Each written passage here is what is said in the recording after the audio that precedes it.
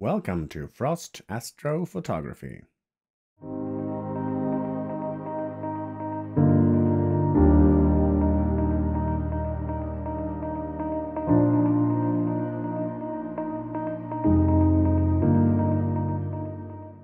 In uh, this video, we're going to take a look at the Iris Nebula, or NGC 7023, or Caldwell 4, as it is also called.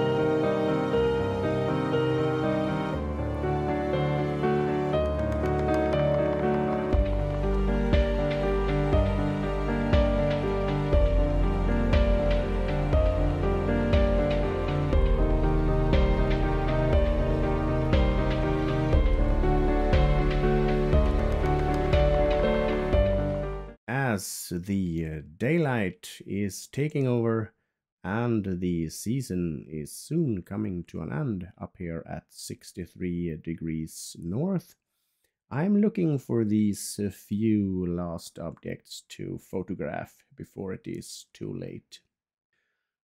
I wanted to be able to capture a few broadband targets and I settled on the Iris Nebula, since it is located due north and that I'm able to photograph it all night.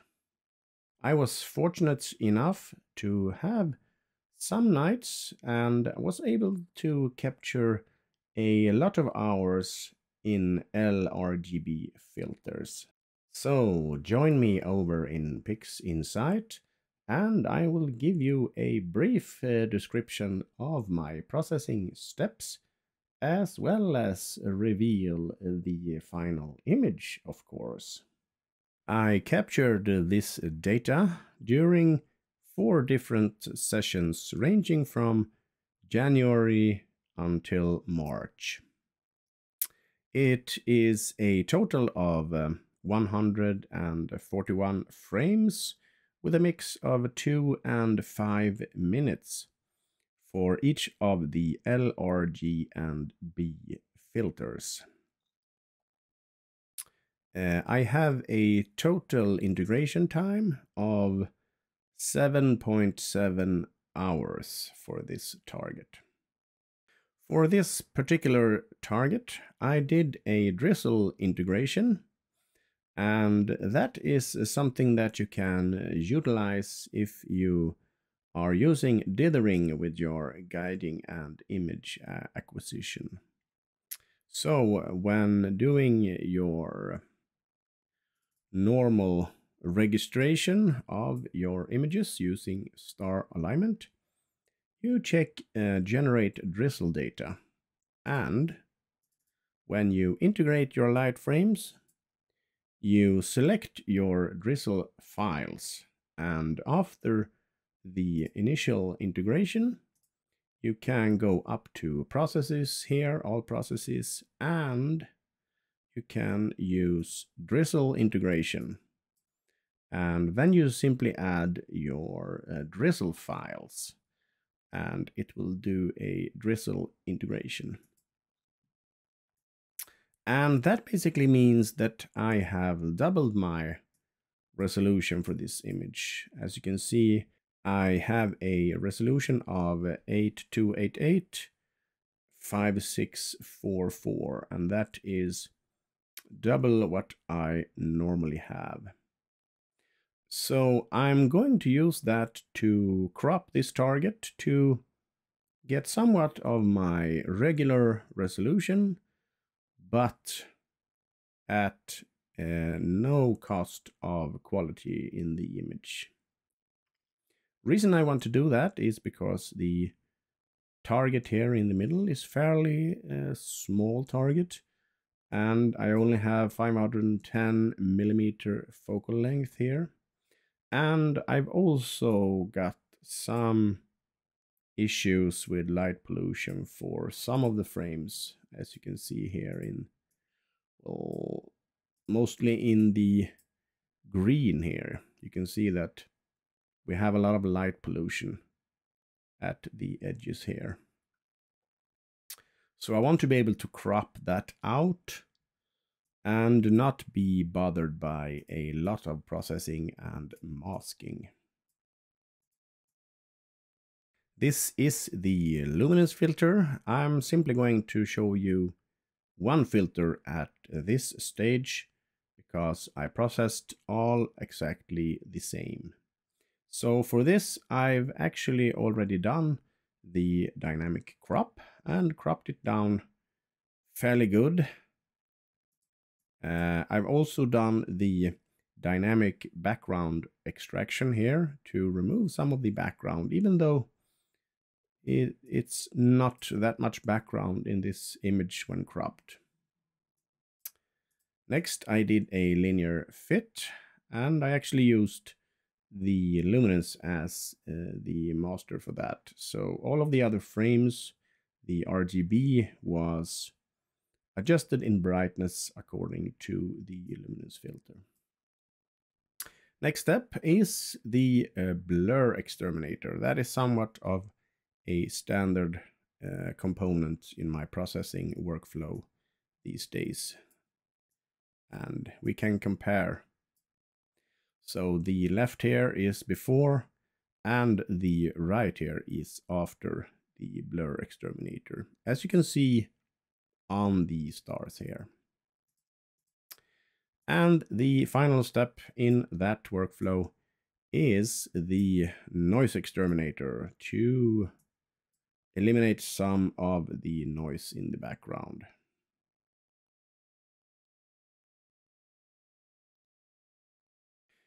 If you zoom in, you can compare the two images and you can clearly see here that the image on the left here is before the NoiseXTerminator and the image on the right is after noise exterminator.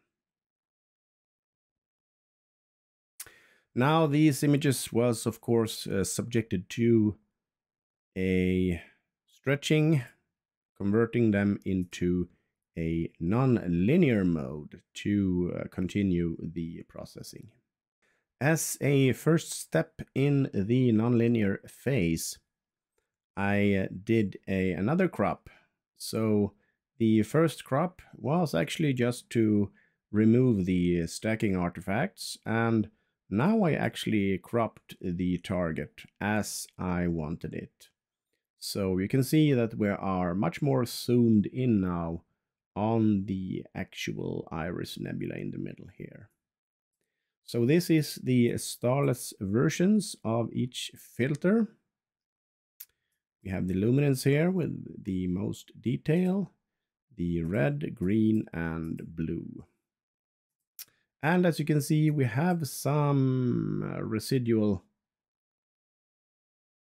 artifacts or light pollution. Or it just might be that we are catching data in the green filter here. I did not do as much processing before the uh, integration of LRG and B as I normally do. And I guess that that is just because that there is a lot of data in this image and you don't actually see that much background. So it's hard to tell what is nebulosity here and what is actual background. This is the uh, first raw integration, LRGB, and this is the uh, starless integration. And I integrated the stars separately for LRGB stars. Now I'm going to use that later on, so closing that for the moment. So I um, used my normal routine, or most of it anyway, because that is uh, mainly for narrowband targets. And since this is a broadband target, the uh, steps might differ a bit. First thing I did, though, was to adjust the uh, colors of the image, removing some of the green in here and some of the magenta down in the corner. Um, I'm thinking that this is some kind of light pollution in the broadband filters. Uh, I get some lights from my neighbors and once in a while, a passing car might also interfere with my photographing, so that might be it. Uh, I really wanted to take care of the dark dust here in front of this nebulosity. That is a major feature of this target, I would say. So next step after adjusting uh, the colors was to do uh, the um, sharpening of the image. Now this is fairly subtle, just to ever so slightly sharpen the details in here.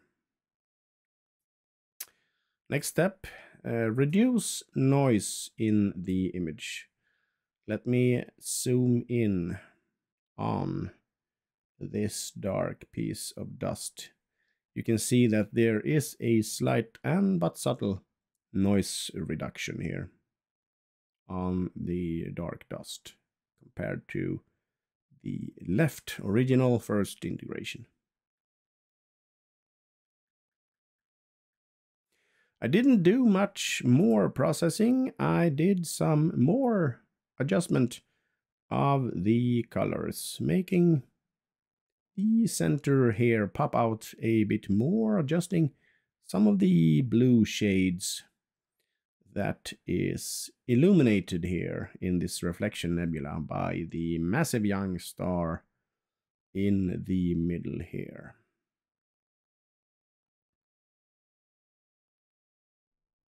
For these type of targets, you really want uh, RGB stars, or in this case, LRGB stars, but they can be quite overpowering, I would say. Uh, that is why I have a, adjusted the strength of the stars in this right image. So before integration, we hopefully have a, a well-balanced strength on the stars in comparison to the main object in the middle here. And this is the final integration. After some final curves adjustments, since uh, the uh, PixelMath script also adds some brightness, I had to lower this uh, just uh, a little bit. Uh, I'm fairly happy with the results here, even though I would have wanted uh, much more of this dark dust. Uh, there is dust all around this target, even to the right here, but that is not showing up uh, in these in this image. So this is the Iris Nebula shot over a period of four nights, January to March 2023. 141 frames for LRGB, 7.7 hours in total. And hopefully I can add to this target next season and see if I can bring out some more of that fabulous uh, dark dust in front of this fascinating uh, reflection nebula uh, that is uh, lit up by the massive blue star in the middle here.